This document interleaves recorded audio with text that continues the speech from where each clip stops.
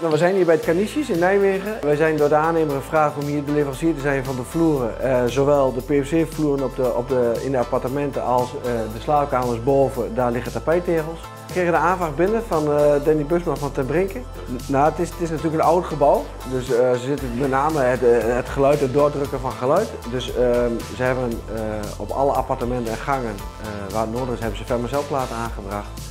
Nou, en, dat moest vrij blijven van de plint zodat je geen contactgeluid hebt. Dus daar moesten we naar kijken en, en, ja, en wat hecht op, op, op, op permacelplaten. We hebben de kelders beneden, dat is onderdeel van de appartement op de begane grond. Daar zit weer een zand-cementvloer in, dus we hebben met Oes in contact gehad en hebben de, de, cementgebonden egalisatie voor de kelders. De gipsgebonden egaline uh, uh, bedacht voor de, voor de die nog snel drogend is. En uh, vanuit daar, ook door het snel drogende, kun je natuurlijk, want het is, is natuurlijk een drukke bouw, er moet veel gebeuren, het is een oud pand.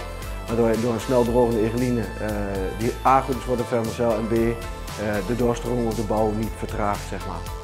Nou, Oezin is onze vaste partner uh, in, in het leveren van lijm en in.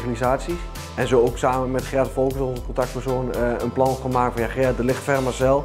Hoe kan ik dat zo goed mogelijk aanbieden met de eisen die er zijn?